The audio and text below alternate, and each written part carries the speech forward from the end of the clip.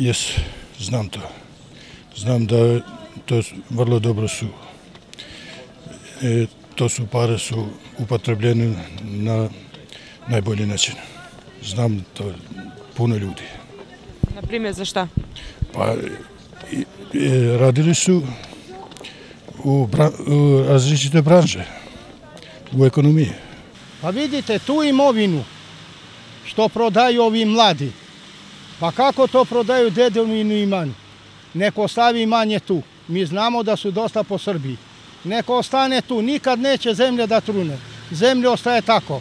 A oni koliko može prodaju ovde i begaju odavde. A šta rade sa tim parama? Imate li neki tipičan primjer života? Ja ću da ti kažem sa tim parama oni što rade. Najviše piju i kockaju se. To je i drogiraju se.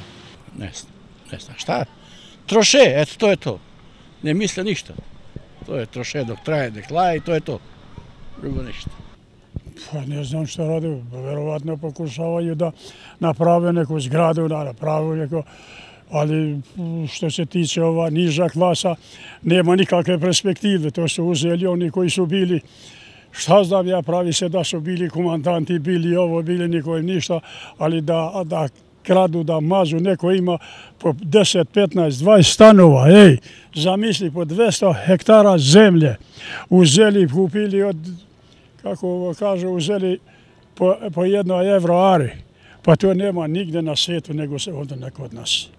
Pa, pa čuvaju po bankama, verovatno tamo, eto, da imaju na kamatu neko i to, ali većinom troše po Srbiji, po kapićima tamo, amo i to je to, nije nešto, nešto Bog zna šta, pričamo realno. Pa ovi naši idu u Srbiju, a ovi njihovi oni ne prodaju, a naši idu u Srbiju i kupuju kuće i placevi. A šta rade sa parama građani Kosova kada prodaju porodičnu imovinu koju su nasledili od roditelja? E, to ne znam. Svak zna za sebe to. Pa imam. Oni što prodaju dobro, kupe po Srbiji tamo super, uzu lokale ili uzmu neke stanove, pa izdaju stanove i super žive.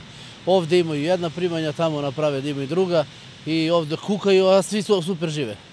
Kupuju u Srbiju, sklanjaju se mi što nemamo da šta da prodamo, ja moram da sedim tu i nemam kut, pa šta bude, nek bude, sinko. To ti je tako. Tako. to je malo, malo pitanje širog značaja.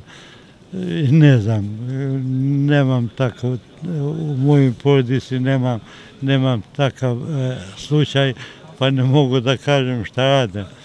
Svako ima svoje mišljenje, svako ima svoje planove u životu pa kad čovjek ima pa može da sebi priušti i neke druge stvari koje nije mogao da priušti kad nisu imali para. Pa da vam kažem, a, neku većinu ulaže u nekretnine, a, ovaj, pravi ili kupuje kuće što dalje odavde, a ima jedan mali broj koji recimo na onom mestu gdje se zateko, tu pokušava da obnovi dedovinu, očevinu i da ipak živi u nekoj nadi da će moći nešto da stvori.